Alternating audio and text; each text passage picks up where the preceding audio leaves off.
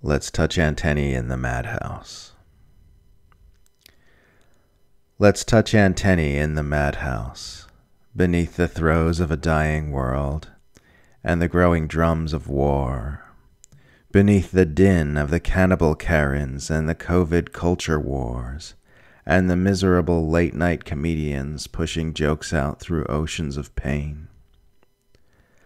Let's touch antennae in the madhouse where there are more empty homes than homeless, and more jails than universities, where there is so little scarcity that we have to artificially create it,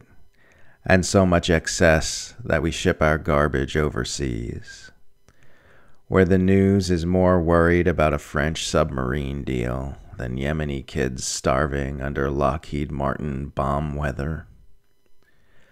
where they harvest our digital information and push for us all to get digital identifications,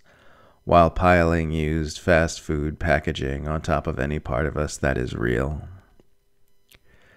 Where future generations, if there are future generations, will scarce believe that there were once whales.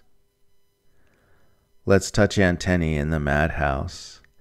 and remind one another of our uncorrupted essence. Let's kneel together, foreheads touching beneath the gunfire of ecocidal advertisements and Pentagon prayers, of screaming red children and oceans of oil, and be intimate,